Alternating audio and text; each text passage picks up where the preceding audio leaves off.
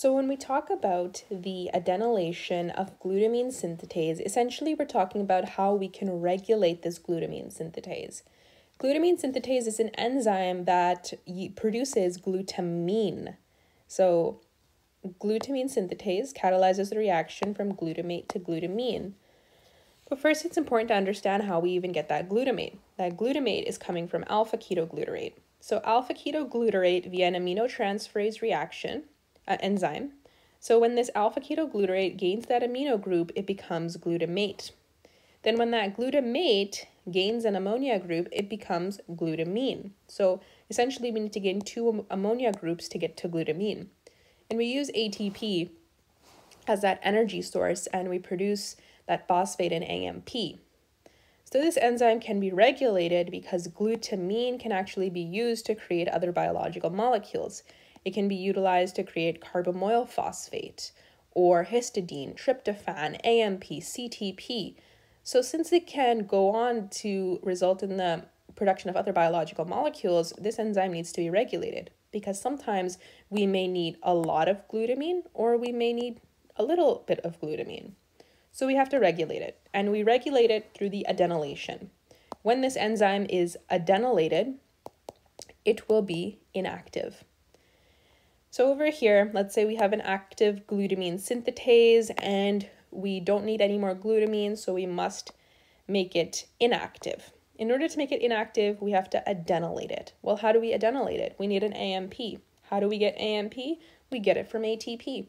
So we take ATP, which is a triphosphate, and we just add AMP, which is monophosphate, to the glutamine synthetase, and we uh, produce pyrophosphate. This is adenylation. But what's the enzyme that catalyzes this reaction?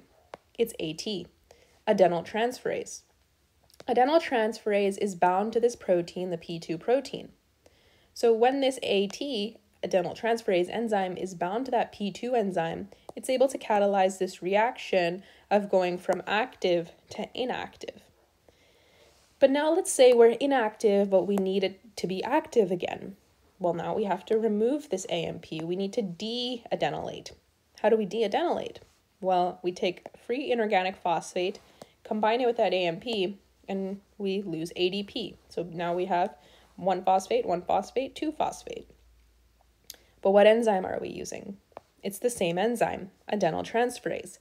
Adenyltransferase is once again bound to that P2, but this time the P2 has a UMP bound, so it has been uradenylated. But what causes this uradenylation of P2? Well, P2 can either be uh, just P2 on its own, or it can be uradenylated P2. This uradenylation uh, is similar to that adenylation we saw of glutamine synthetase. So we have UTP, the UMP is going to bind over here. Pyrophosphate is lost, similar to what we see right over here, ATP, AMP, pyrophosphate.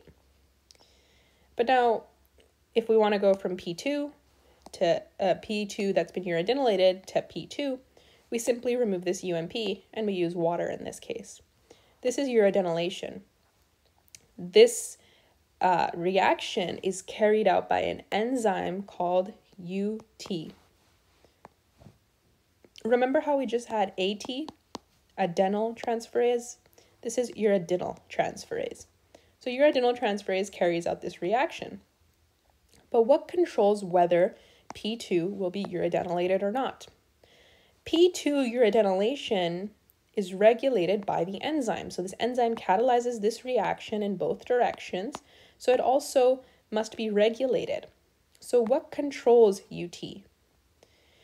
Well, UT can be regulated by this reaction right over here if we have a lot of glutamine, we have a lot of glutamine, which means that we want to inactivate glutamine synthetase.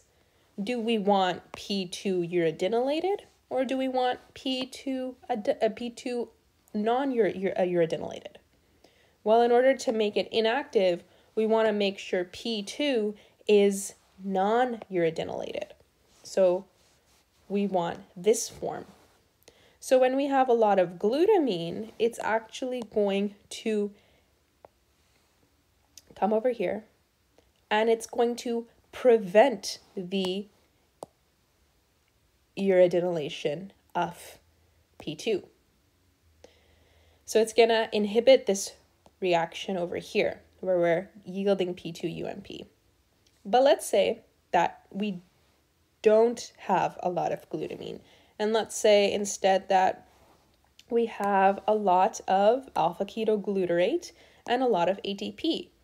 Eight, a lot of ATP and alpha ketoglutarate will signal to the UT enzyme that we need glutamine.